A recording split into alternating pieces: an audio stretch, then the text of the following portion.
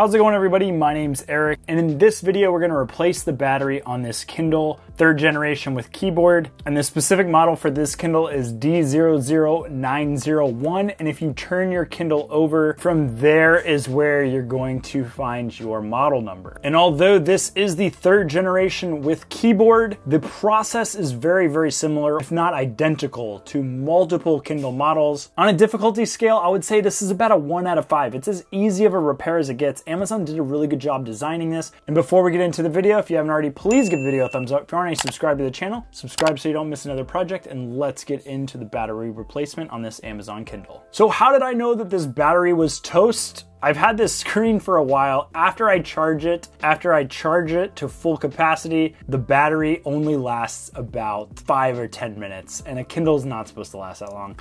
This device is from 2011, so it's safe to say that the battery has gone bad. So we went and we ordered a replacement. I will put a link in the description for your convenience. But what we get in the box here, we get two little plastic prying tools, Phillips head screwdriver, and we get the replacement battery itself. So you're gonna turn your Kindle over, grab the prying tools, and you're going to pry along the sides here. There's a separation of plastic. I'm gonna get it in between there and run it along the bottom.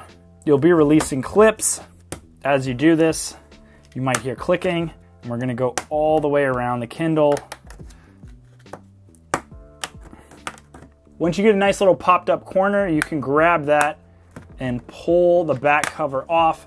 It should come off fairly easily, just like that. It's just held in with little clips and pieces of plastic. You do want to use a plastic prying tool, not a metal flathead screwdriver, because you don't want to damage, chip, or malform the plastic. You want it to fit together nicely when we put it all back together. We're gonna take an electronics Phillips head screwdriver, we're going to take out these two screws right here and you're gonna go lefty-loosey. Once you get those two screws out, you should be able to pry the battery up from that end and then you're going to pull it out. There are some tabs down here at the bottom, so you lift it up and then pull it out that way. There's all the battery specs for reference, and here is our replacement battery. We're going to put it in just how we took the other one out. We're gonna slide the bottom in first. The bottom should lay flat, and then you're going to press down on that top section. Grab those two Phillips head screws that you took out, and these go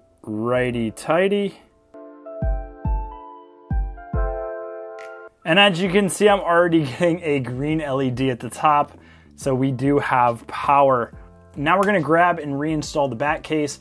You wanna look at the speaker grills, and match it up to the speakers on here. Or you can look at the contour or the text and know that the text goes towards the bottom of the machine. And we're just going to line it up and then we're going to press down all on the sides, just pressing and moving, pressing and moving.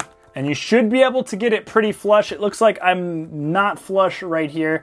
So I'm just gonna grab my pry tool. I'm gonna pry it apart a little bit and then I'm going to press it down to get it to lock in just like that. Now our Kindle already has booted up. It has half of a battery life. I'm going to plug it in, get it charged, do, um, I'm gonna plug it in, get it fully charged, and this thing is going to be good to go with multiple days, if not a week worth of battery life. Thank you guys so much for watching. All of the replacement batteries and the Kindle models I will reference to in the description for you guys to check out. If you haven't already, please give the video a thumbs up. If you have any questions about this repair, throw them in the comments section. If you haven't already subscribed to the channel, subscribe so you don't miss another project, and I will see you guys in the next one. Bye.